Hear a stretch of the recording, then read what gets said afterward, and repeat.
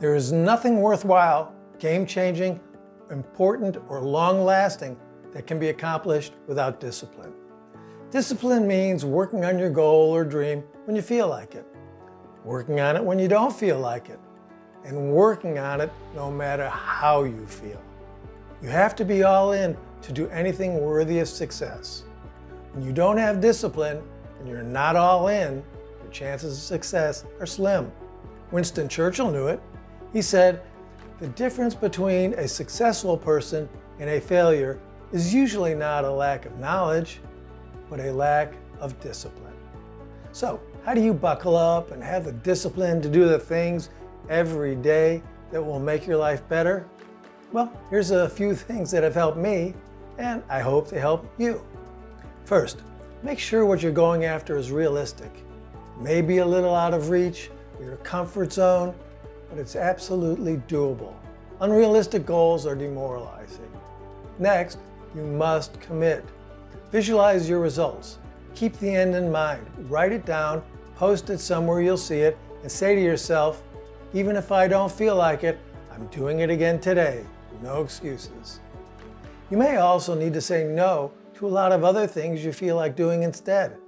But by doing this, you will more easily keep your focus on the goal. And last, but certainly not least, make sure you have a good support system. Surround yourself with people who will encourage you when your belief may start to wane. You don't need to have false hope, but you certainly don't need Debbie Downer either.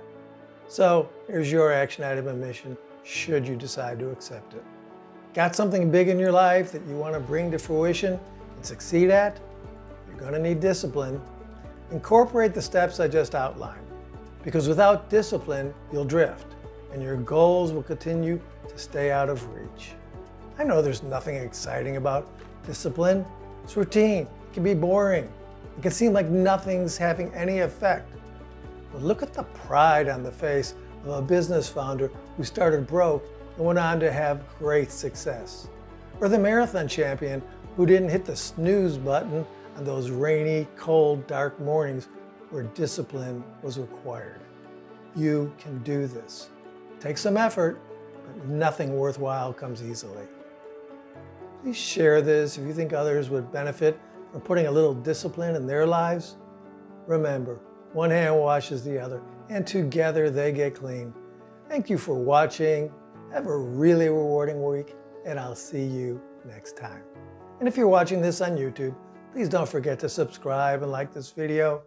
With just a couple of clicks, you could be helping thousands of people. Thank you.